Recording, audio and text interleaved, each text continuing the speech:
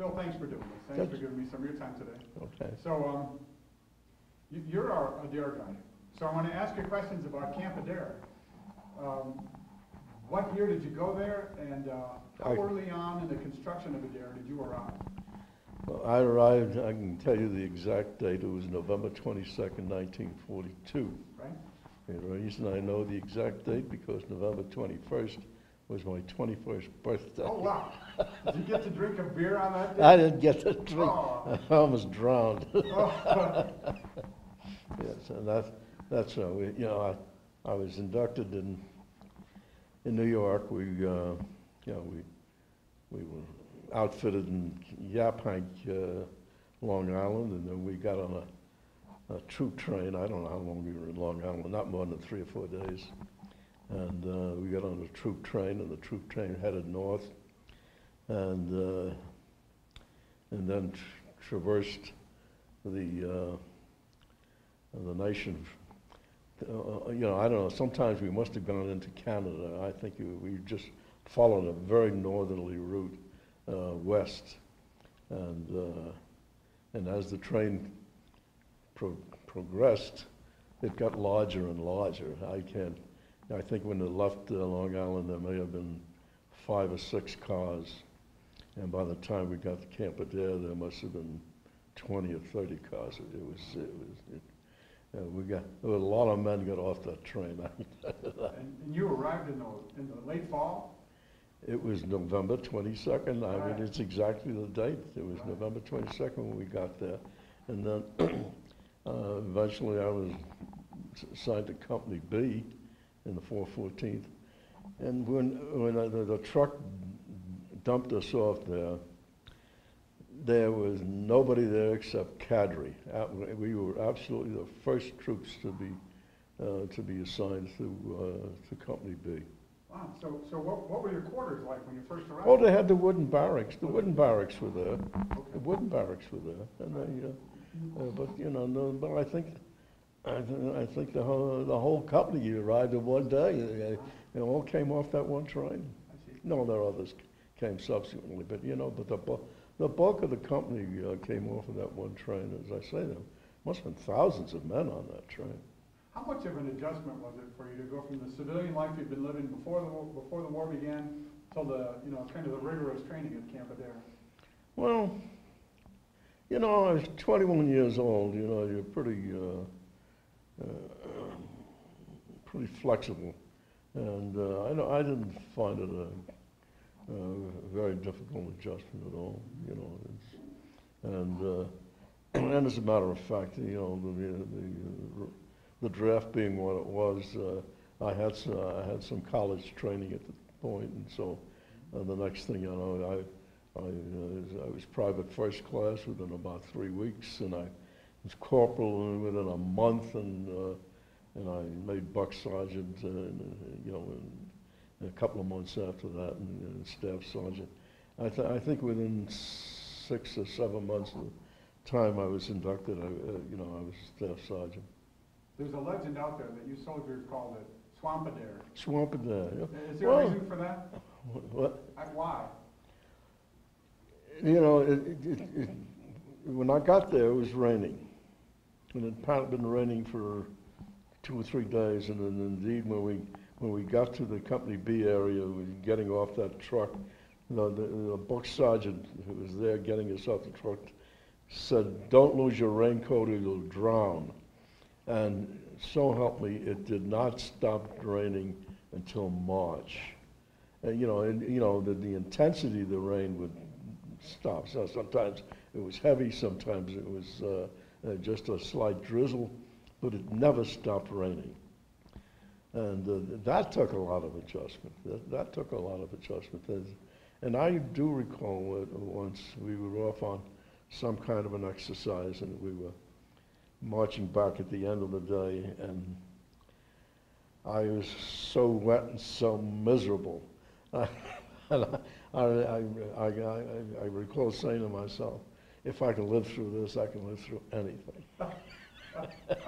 So, needless to say, you don't go back to the Corvallis area for vacation. No, It's a little sunny. no. I, I haven't, I went back there once, but uh, uh, we were, we had a reunion once at uh, Portland, and I went, I, went- I, when I did, did take the tour down to, of course, we couldn't get in, it was, uh, it was blocked off, it's a a wildlife sanctuary now, but, uh, but we stood at the gate and looked in, uh, but I don't miss it.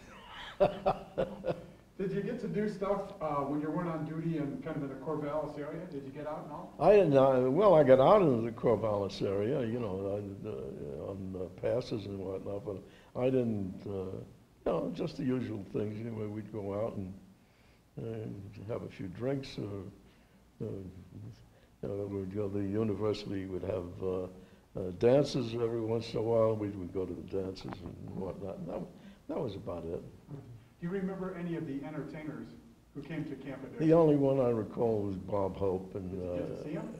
Or I got to see him on the, uh, the, on the stage, and he had, was, what was his name, Jerry Colonna. And, uh, you know, that, that, other, other entertainers came out, but uh, frankly, I don't remember them. I don't remember their names. So, you, did you finish your training at Camp Adair, or did you go elsewhere? I fin, I, I was with the, the hundred and fourth from start to finish. I see.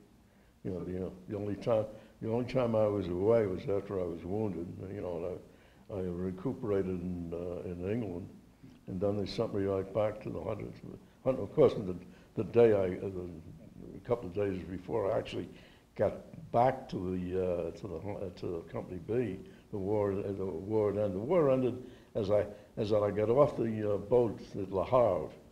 They said, as we, as we were disembarking, somebody said, the Germans have surrendered. So, that was- good news. and that was good news. That was That good was good news. So you traveled across America, they loaded you on a boat. What was that trip across the Atlantic like? Crowded. Uh, you know, it was crowded, but it was uneventful. I, you know, there- there, there were a, a lot of, uh, I just recall a lot of Canadian, uh, whatever, so small ships uh, woozing in and out of the, uh, uh, you know, and, and escorting us. But we, but of course, we went directly to, uh, to Cherbourg. We didn't go, we didn't disembark in England, no, we went right to Cherbourg. And, uh, so, uh, and and of course, the Cher, the harbor of Cherbourg was totally destroyed. And so they had to take us off and light us. Uh, but they took us off and landed us on shore and, uh, they drove us into a, a bivouac area somewhere. We, we, we were there for about, I don't know, 10, 15, 20 days maybe. And then uh, we were told we were part of the Canadian First Army, and uh, we went off to, uh, uh, they transported us up through Brussels, and, then eventually we, uh, uh, we went up to Worcester, or where it was, that little town we relieved the, uh, the British regiment, and uh, uh, went, went into, uh, went across the, uh, the border into Holland. You guys, you guys were, you were kind of a- on the fringe of the Battle of the Bulge, weren't you, weren't you? Oh, yes, we were on the fringe of the Battle of the Bulge, you know, as, as a matter of fact, the, uh, the, uh, uh, the, um, one of, one of the toughest battles we ever fought was at uh, a town called Pier. And when that was over, uh, I, I got, I got back to company headquarters, and Captain said something to me, and I couldn't hear him. And so I complained, I said, Captain, I don't hear anything. So they sent me back to the uh, battalion uh, medics, and they determined that I had two earfuls of earwax and a, and a, and a slight ear infection. And so they cleaned out my ears and they gave me a shot and told me to lay down.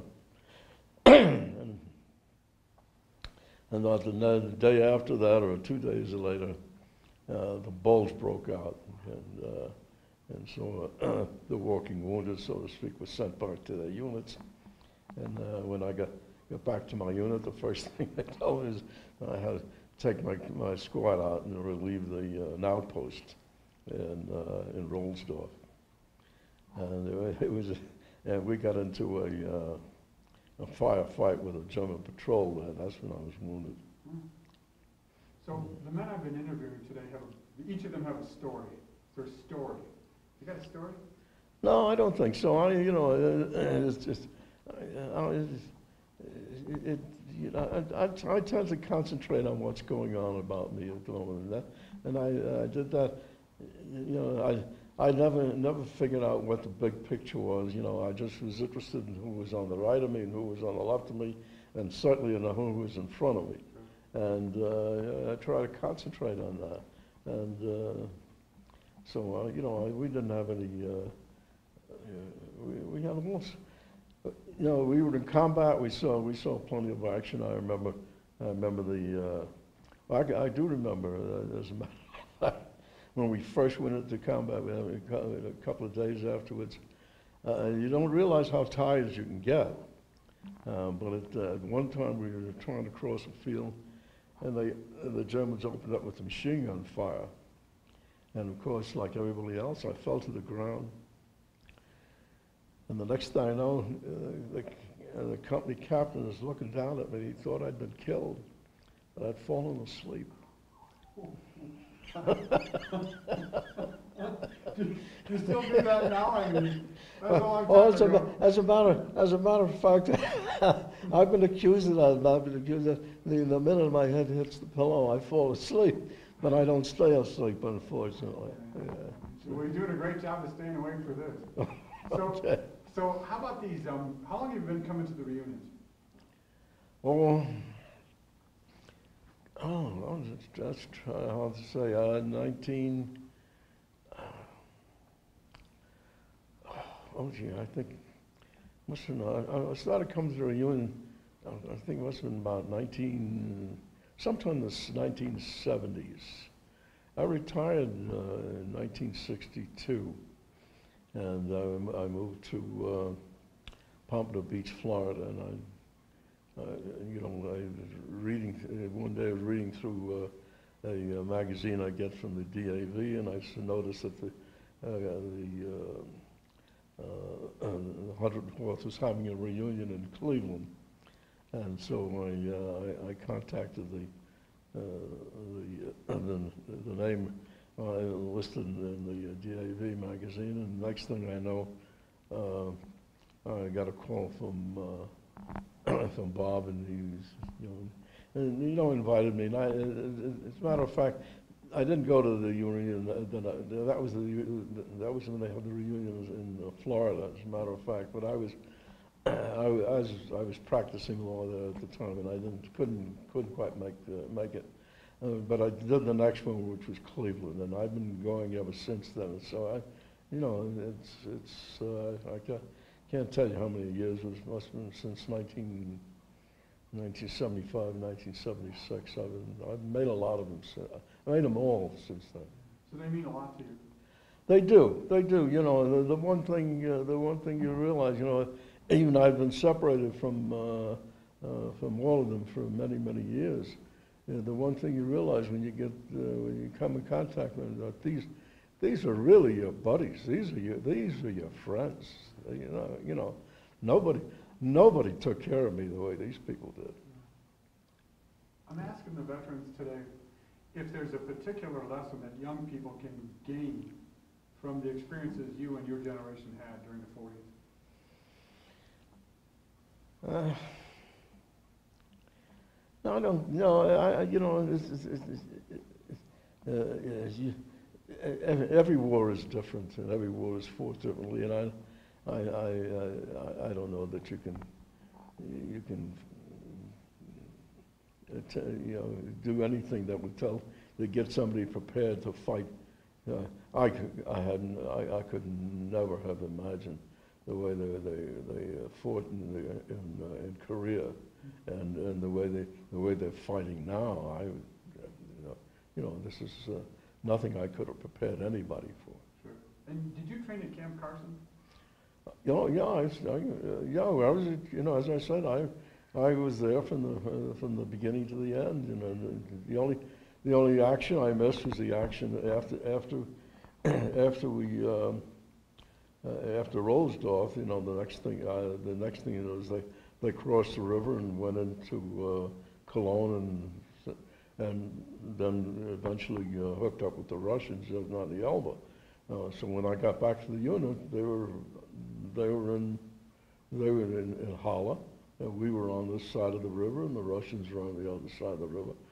But every, every action that the, that the 414th was in from, from the beginning until, uh, until during, you know, I was there. I was We, there. we had a tour of Camp, Car- uh, Fort Carson the other day. Mhm. What'd you think of that place? How much had it changed over the decades? It- I, I couldn't, I couldn't have recognized a, a single, a single spot in there. The only thing I recognized the mountains and the, and the, and the, and the, uh, and the distance, that's all. You can't, totally, it's a totally different, uh, area. It would- I couldn't, I couldn't orient myself in that place at all. Is there anything else you want to share today? No, not, not really. That's great. Thanks for your time, Phil, thanks for your service as well. well, you're quite welcome.